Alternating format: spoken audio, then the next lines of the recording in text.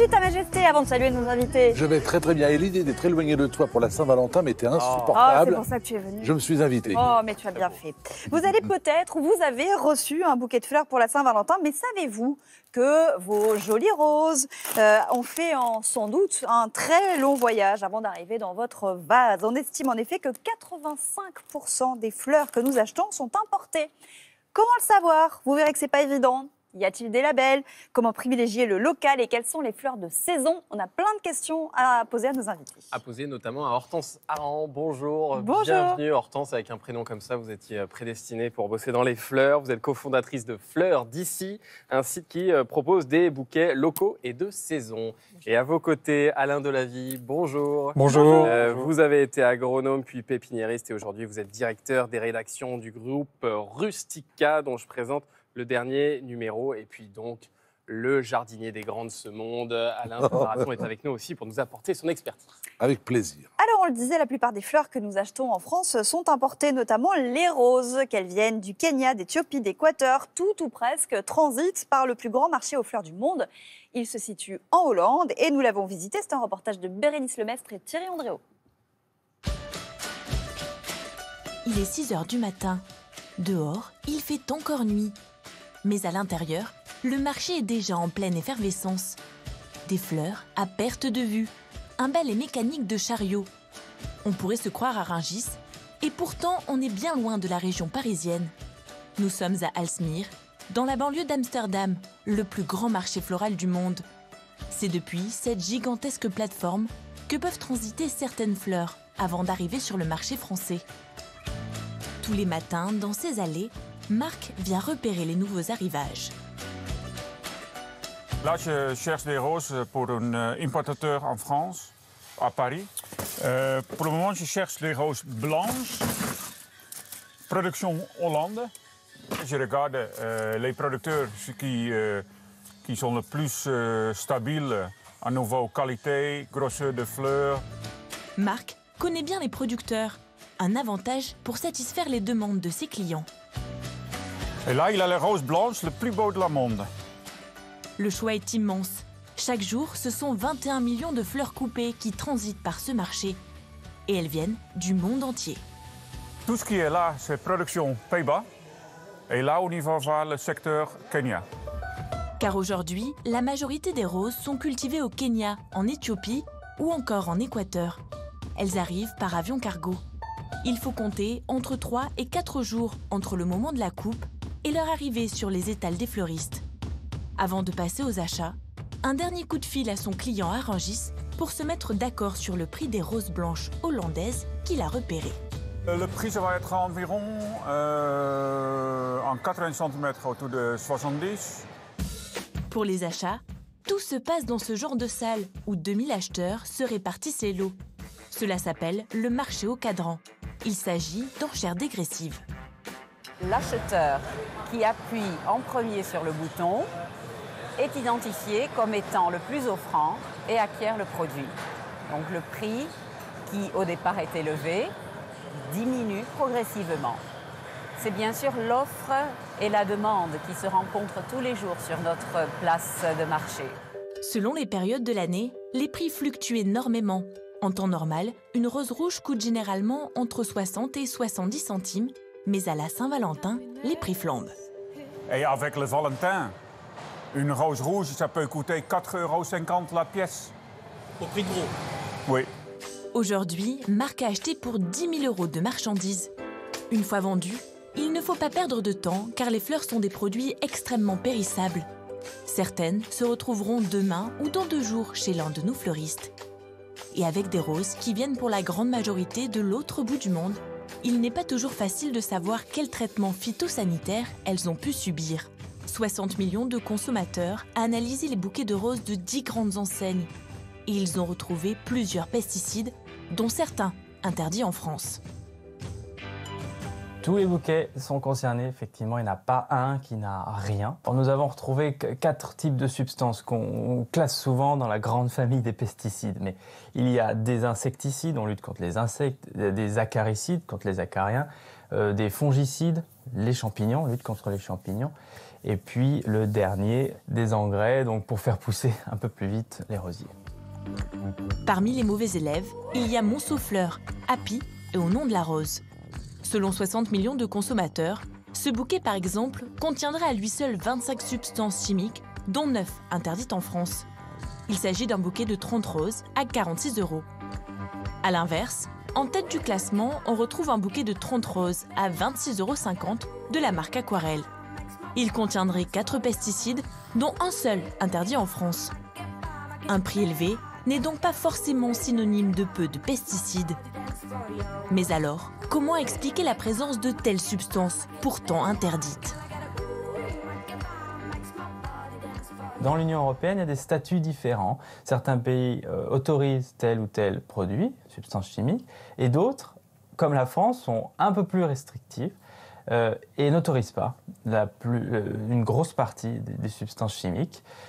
Donc on se retrouve avec des bouquets qui, par exemple, peuvent, être, euh, peuvent respecter la réglementation en Allemagne, mais euh, pas en France. En France, il n'y a pas de contrôle des, euh, des roses importées. On ne les contrôle pas sur le plan de la présence de substances chimiques. Mais alors, si on achète un bouquet de roses contenant des pesticides, y a-t-il un risque pour notre santé? Pour les consommateurs français, le risque il est extrêmement faible.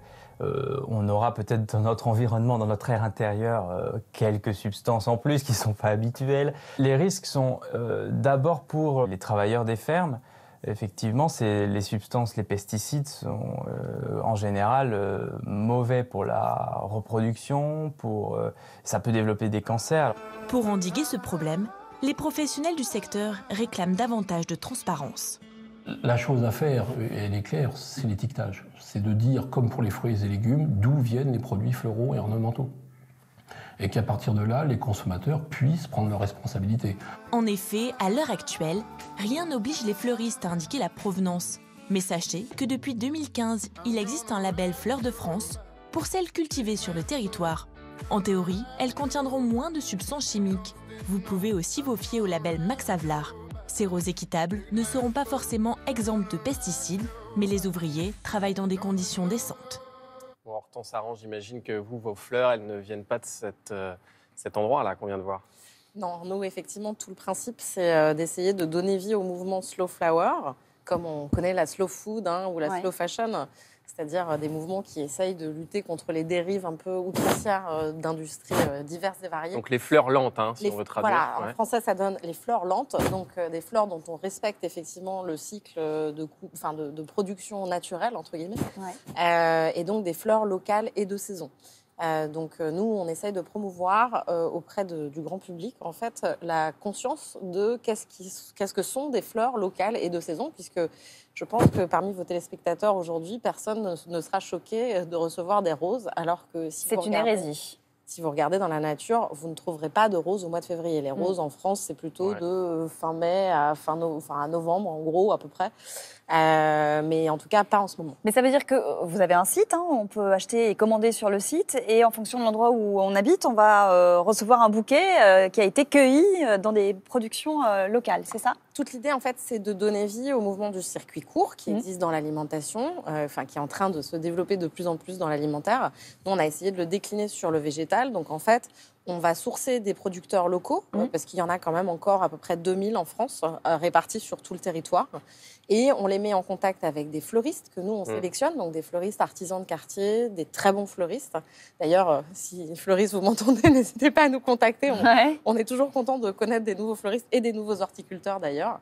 Euh, et voilà. Et ensuite, nous, on, on leur amène euh, des clients avec un système de commande. Nous, on travaille essentiellement pour des grandes entreprises qui sont de plus en plus sensibles à la question des achats responsables. D'accord. Bon, ça veut dire que euh, trouver, par exemple, en ce moment, des roses, c'est une hérésie, c'est ça? Une hérésie euh, pour la France, oui, c'est pas dans les jardins, on n'en a pas. Ouais. Ou alors c'est dans les régions où il n'y a pas eu d'hiver, il reste quelques roses, mais pas très belles. Après, bien sûr, l'hémisphère sud, eh bien eux, c'est le temps des roses. Ouais. Donc effectivement, toutes nos roses viennent de très très loin. Par exemple, le, Kenya, c'est euh, environ 7000 km quand même de Ah oui. voyage. Tout petit peu de voyage. Voilà, 70 heures de voyage pour arriver chez le premier grossiste. et puis après chez le fleuriste et chez le particulier. Quelles sont les autres fleurs qui ont la cote euh, le 14 février et qui sont pas forcément de saison d'ailleurs? Bah, elles sont- il n'y en a aucune de saison, donc on a Ah la oui. rose, bien sûr, c'est la fleur Bah par excellence au moment de la Saint-Valentin, c'est même énorme le, le- le score. Ouais. Et derrière, on a l'orchidée, alors avec le fameux orchidée papillon, le phalaenopsis, et en troisième, le lys. Curieusement, Ah oui. ce sont trois fleurs qui, chez nous, sont des fleurs, à part l'orchidée qui peut fleurir un peu hors saison, mais c'est une fleur exotique, typiquement exotique. Et bien sûr, la rose et le lys, c'est plutôt des fleurs printemps-été. Et donc des fleurs qui viennent de très loin, vous le disiez, euh, ça peut être le Kenya, Pays-Bas, au plus près, Équateur, Colombie, Éthiopie, euh, souvent cultivées comment? Sous des, sous des serres? On va voir quelques images euh, Alors, en Équateur. mais- En Équateur, ça peut être sous des serres, bien sûr, il faut les protéger, c'est mieux. Puis en plus, on a une culture beaucoup plus homogène sous serre, mais c'est pas bien sûr la culture de la rose que l'on a dans son jardin. Euh, et puis, euh, ce sont des serres, des variétés de roses très particulières, parce qu'elles doivent supporter les voyages, Très elles résistantes alors. très résistantes, euh, oui, très résistantes, pas forcément parfumées, même jamais parfumées. Mhm. C'est très Ouais. rare d'avoir euh, pour la Saint-Valentin des fleurs parfumées. Pourquoi elles ne sont pas parfumées, ces, ces fleurs? Parce qu'elles ont été simplement sélectionnées pour leur qualité horticole, c'est-à-dire que faciles à produire. On veut aussi, les roses, elles sont un peu classées suivant leur taille de tige. Vous avez dans des très très belles roses, très chères, qui ont des tiges jusqu'à 1,20 m. Donc. Ah il oui. faut des variétés qui puissent produire ce type de rose. Alors que d'habitude, un buisson va faire quelque chose de plus ramifié. Ce n'est pas du tout ce que l'on veut en horticulture industrielle. On veut une tige bien droite, parfaite, qu'on va tailler le moins possible. Sinon, c'est une main-d'œuvre considérable et qui surtout va faire un gros bou- bouton magnifique. Alors, ça, c'est la rose sublime par excellence, mais pas du tout de saison. Eh oui. On a vu des images de ces serres en Équateur. Je crois qu'on cultive aussi beaucoup sous serre la rose en Hollande. Juste pour info, hein, euh, c'est une étude britannique qui le dit. Une rose qui est produite sous serre aux Pays-Bas produirait six fois plus de CO2 qu'une rose produite au Kenya. Donc euh, c'est important de savoir ce que l'on achète. Est-ce qu'il y a euh, des obligations d'étiquetage quand on vend des fleurs? Alors précisément, c'est toute la différence avec les fruits et légumes où maintenant tous les détaillants doivent euh, expliquer, donner voilà, la provenance. Euh, les fleurs aujourd'hui, euh, on n'a absolument aucune notion. Euh, Il n'y a pas d'obligation légale en fait sur la mention effectivement de la provenance. Et pour cause, euh, l'industrie floricole ayant euh, bien sûr euh, fait en sorte que cette question n'arrive pas euh, en fait jusqu'aux oreilles des consommateurs, Ouais. puisque ça repose sur euh, les importations, euh, comme le disait Alain à l'instant. Euh, Adèle vous dit J'ai du mal à croire que les fleurs de mon fleuriste de quartier viennent du bout du monde. Elles paraissent euh, toujours fraîches. Euh, c'est- Alors, elle a peut-être un super fleuriste de quartier que je lui souhaite, qui, euh, qui va se fournir euh, lui-même euh, et euh, voilà, qui, qui a la capacité à avoir accès à une production locale, peut-être. Euh, mais Comment est-ce qu'ils font sinon pour les Alors, préserver? Alors, c'est quoi Très leur probablement non. En fait, euh, elles ont l'air fraîches parce que précisément, elles sont, moi je dis elles sont botoxées en fait. Ouais. Euh, C'est-à-dire que les roses, quand elles sont coupées au Kenya, elles subissent des traitements à base de polymères plastiques. Ou en Traitements fait, chimiques. Ah oui traitements chimiques, bien sûr Plastique. on leur fait aspirer des produits qui leur permettent de se maintenir. Et c'est pour ça que les roses, ces roses-là, elles sont figées. Ouais. Elles ne s'ouvriront jamais. Les gens disent ah c'est parce que chez moi je ne sais pas m'occuper des fleurs. Non, pas du tout. Ça n'a rien à voir avec Ah, vous et on votre découvre qu'on a, qu'on a peut-être tous la main Mais- verte, en mais, fait. mais pire encore, on ne se, se contente pas de traiter les, les- les fleurs. On va créer les roseraies au plus près des aéroports pour limiter le temps de Ah oui. livraison. Ouais. On va détourner les cours d'eau parce que vous vous doutez que les plantes ont besoin de quantité d'arrosage. On va sous-payer la main-d'œuvre locale. En un mot, le geste d'amour d'offrir des fleurs en ce moment pour la Saint-Valentin, c'est peut-être un beau geste d'amour, mais ce n'était pas forcément un beau geste d'amour, ni pour la planète, ni pour ceux qui produisent Non, des fleurs. la- En Colombie, par exemple, il serait intéressant de connaître le coût de rémunération des employés. Il y a de quoi frémir. Ouais. Mais attendez, quand on- du coup, quand on est euh, chez son fleuriste, euh, et comme l'étiquetage ne va pas nous aider, il ne faut pas acheter des fleurs quand elles sont euh, pas trop. On, on dit souvent les acheter en bouton, pas tellement ouvertes. C'est une, erreur de faire ça. alors. Elles resteront en bouton, C'est ça. quoi Ouais. qu'il en soit. Ouais. Donc euh, on, va privilégier effectivement des fleurs qui peuvent voyager en bouton parce que pour donner cette impression aux consommateurs qu'elles sont fraîches et, qu'elles- et leur donner la promesse de l'épanouissement, mais dans 9 cas sur 10, je pense que ça Ouais. ne s'épanouira pas. Tu disais que c'était très mauvais pour la planète. Effectivement, hein, une tige, une seule tige de rose, c'est l'équivalent en CO2 de 5 km parcourus en voiture Donc c'est vrai que ça fait réfléchir au moment de l'achat. D'où l'intérêt vraiment d'acheter local. Il y avait autrefois quantité de petits horticulteurs, y compris en région parisienne. En plus, c'était un, un- un ravissement pour le paysage. Tous ces jardins, car ce sont des jardins, disparaissent à cause de la main-d'œuvre, à cause de l'immobilier, à cause de la pression des villes. C'est navrant parce que ce ne sont pas seulement des territoires qui disparaissent, des métiers qui disparaissent et une économie qui est aujourd'hui, dans le domaine de l'horticulture, qui est vraiment au plus bas. Alors on verra euh, s'il y a des labels par exemple qui peuvent nous aider à acheter plus local. Juste avant quand même cette question de Nadège qui nous dit pour ma part j'attends le printemps pour cueillir les fleurs de mon jardin. Elle a raison. Les bouquets de chez les fleuristes sont bourrés de pesticides. On a commencé à parler des traitements. En plus du bilan carbone euh, que l'on vient d'évoquer, il y a effectivement la question des, des pesticides. Euh, les fleurs, et on le disait dans le reportage, sont souvent pleines de produits phytosanitaires, jusqu'à 25 substances dans le même bouquet. Est-ce qu'il y a déjà une filière bio Alors, il y a euh, les prémices d'une filière bio, mais la flore bio, c'est pas un modèle économique pour les horticulteurs aujourd'hui. Très clairement, en fait, les horticulteurs aujourd'hui, ils ont déjà Pourquoi? C'est beaucoup trop de cher ils ont déjà beaucoup de mal à s'en sortir dans des productions euh, classiques, on va dire. Et même si la plupart d'entre eux, en fait, n'utilisent pas euh, d'intrants pour des raisons économiques, une fois de plus, Pesticides, les intrants, c'est les pesticides. pesticides, pesticides et autres substances chimiques, en fait. Euh, mais tout simplement parce que c'est trop cher. D'accord. Euh, de la même façon qu'ils ne chauffent pas ou ils n'éclairent pas leur serre parce que c'est trop cher. Ils n'ont pas le label pour Euh, autant. mais ils n'ont pas pour autant les labels parce qu'ils n'ont pas le temps. Enfin, ça demande des ressources de faire. Et ça veut dire aussi que ça n'intéresse pas encore le consommateur aujourd'hui, c'est ça? Non, c'est pas la demande première. Et puis peut-être qu'on n'y pense même pas. Quand on Ouais. achète Non, des fleurs, on, on se dit c'est tellement beau, c'est- ça fait tellement rêver. On pense pas du tout au côté nocif. Et bien sûr, on va pas les manger. Et il serait hors de question de mettre ces. euh, alors peut-être pas celle-là, mais tout du moins des fleurs classiques dans, dans son assiette parce qu'elles sont trop, trop traitées. Et elles sont traitées parce que ce sont des cultures industrielles. Donc euh, il doit y avoir des temps de production, euh, tant de semaines, j'obtiens ma rose. Et euh, une semaine de plus, pour le producteur, c'est une perte d'argent. Mm. Ou alors il rate la saison. Bien sûr, si on rate par exemple la Saint-Valentin, euh, pour beaucoup de Catastrophe. producteurs, c'est une Ah. catastrophe. Un drame. Dans le reportage, on parlait des labels. Euh, Fleurs de France, par exemple, est-ce qu'on peut s'y fier? Alors, Fleur de Fian, France, ça, ça prouve que votre production vient de France. Mm. Donc, elle n'a pas fait le tour du monde ou une partie du tour du monde. Sur ça, oui. Après, ça ne veut pas dire que c'est bio. C'est Ouais. euh, une production locale au sens de la France. Donc, c'est déjà beaucoup plus proche. Euh, chez Max Avelar, qui a, Oui. dans sa production, il y a une petite partie Partie. qui est bio. euh, mais dans les fleurs, c'est pas encore euh, Ouais. très, très répandu. Et il y a Plante Bleue, Label Rouge?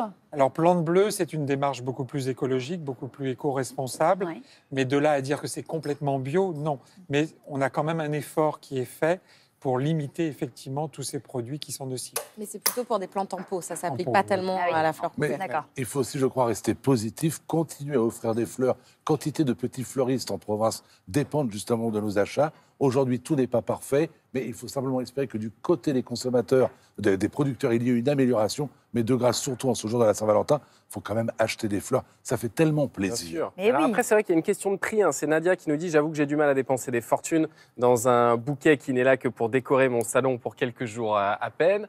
Euh, Est-ce que c'est forcément euh, des fortunes euh, d'acheter des fleurs? C'est la même chose que si vous achetez un t-shirt chez H&M que vous allez garder de Zara. Zara, ou- Zara. Euh, voilà, que vous allez garder deux jours ou, euh, ou un t-shirt que vous allez payer un peu plus cher Donc mais que vous allez cher. garder six ans. Acheter local Alors, euh, Déjà, il y a cette différence-là, c'est que nous, nos bouquets, par exemple, ils ne durent pas deux jours, c'est ça que je veux dire, c'est Ouais, qu'ils ouais. durent plutôt deux semaines. Donc ça, c'est la première chose.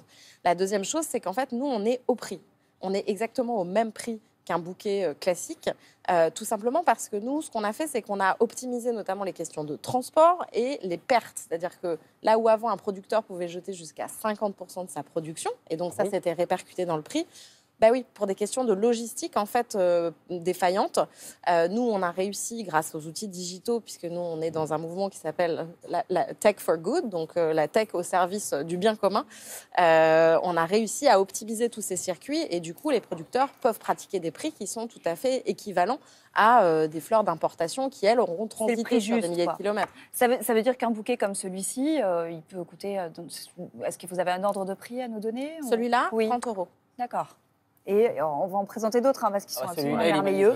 Le mimosa et, et l'anémone ici. Celui-là, il serait plutôt aux alentours de 50 euros. Il est plus gros, hein, mais Ouais. ce- Ouais. celui-là à 30 euros, c'est correct. Et alors, il y, a- y y Annick qui nous dit impossible pour moi de me passer des roses dans mon salon, ça égaye tellement un intérieur, les fleurs d'hiver sont toujours un petit peu tristounes. Qu'est-ce que vous pouvez lui répondre? Que- Quelles fleurs on peut euh, proposer actuellement alors, Même Alors, euh, Quelques noms. Voilà, je pense que, vous voyez, typiquement ça, ça s'appelle, des élébores. C'est assez, ça reste assez rare, mais c'est vraiment une fleur emblématique. La rose de Noël, hein, Voilà, celle-là. la hein. rose de Noël. C'est vraiment une fleur emblématique d'hiver et euh, elle existe dans des couleurs tout à fait spectaculaires euh, entre euh, le vert et le violet, enfin le pourpre foncé. Ouais. Mais vous avez bah, de mimosa, euh, moi je trouve pas ça terne hein, Non, personnellement. Les- D'ailleurs, les, Les premières anémones fleurs, euh, les premières fleurs de printemps sont souvent jaunes pour des Ouais. raisons euh, de, liées aux insectes et à la pollinisation. Euh, Ah mais oui, donc la- les anémones, euh, L'anémone, c'est absolument magnifique. Oui. Voilà. les tulipes aussi que vous avez là, elles peuvent avoir des couleurs extrêmement vives. Les renoncules, Euh, c'est en ce moment aussi? les renoncules, Ah, c'est en ce moment aussi. Ouais. Les jacinthes, qui en plus d'être belles, dégagent des senteurs bon. incroyable. C'est fou. Depuis tout à l'heure, je la sens. C'est incroyable. C'est merveilleux. Non, mais globalement, c'est aussi la grande, la grande différence là, et on le ressent sur Ah ouais. ce plateau, le fait d'avoir des, des fleurs, peut-être parce qu'elles sont euh, locales justement et pas trop euh, trafiquées. Eh bien, on retrouve vraiment du parfum sur ce plateau, et c'est- c'est c'est tout l'intérêt d'aller acheter local. hein. C'est que de l'amour. C'est que de l'amour. c'est que de l'amour. on va juste montrer ce bouquet. C'est c'est le bouquet de Saint-Valentin, hein, celui-ci. Oui, alors effectivement, ça c'est le bouquet euh, emblématique que nous on a créé pour la Saint-Valentin. Donc nous on fait une Saint-Valentin en blanc. Je parce vous le que pique pour le précisément- montrer, euh. Allez-y. C'est un côté euh, bouquet de mariée, hein, je trouve, celui-ci. Hein. Voilà, t'es un Ah. peu encombré quand même. C'est Ouais, si t'as c'est ça, ça, ce serait- ce serait le jour du mariage, mais Je c'est suis pas mariée. à lancer, c'est un peu, c'est un peu lourd. C'est un peu gros et qui est à base en fait de fleurs euh, très parfumées parce que vous avez à la fois des narcisses, des œillets, euh, vous allez avoir, euh, je sais- normalement il y a des giroflées aussi, il y a de l'eucalyptus, euh, enfin voilà, c'est c'est toutes des, des fleurs ou des végétaux en tout cas qui ont du parfum et qui viennent euh, évidemment toutes de France et du- d'Île-de-France en partie. Euh, la bruyère vient de Bretagne, Ouais. enfin voilà, vous avez euh, Eh de ben, toute ce façon sont que des très belles compositions en tout cas. Merci, merci beaucoup et Merci merci, à à. Anaïs Cardaron qui nous a aidé à préparer ce dossier. Avant de répondre à, à vos cas pratiques, tu vas venir avec nous, Alain, parce qu'on va les, les déguster maintenant. Je veux bien. Grâce à Farida et son.